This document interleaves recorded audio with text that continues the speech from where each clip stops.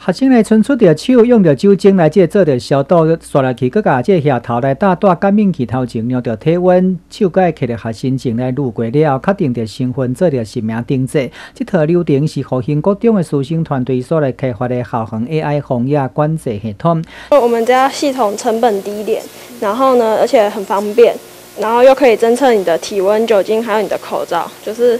很适合运用在未来，如果新冠肺炎再次爆发的时候，去进行实名登录。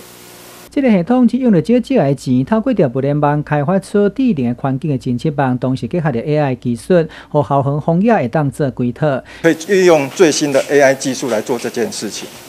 那刚好我们有找到适当的工具，所以我们慢慢把我们的药的功能特别加进来。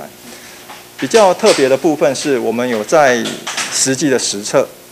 在学校里面，社团课跟班级课有进行练习。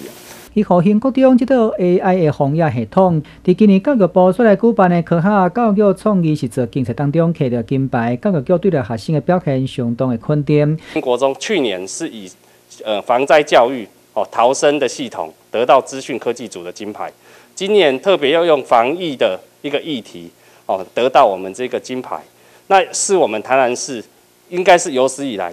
其他县市也一样，能够蝉联这个作品金牌的一个队伍。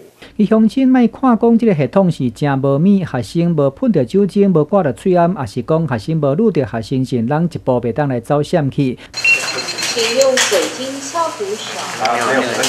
透过着语音的提醒，要求学生完成着流程。有了这个系统了，对着校园防疫会当大大降低能力，同时提升着防疫的效能。南天新闻台影城台南采访报道。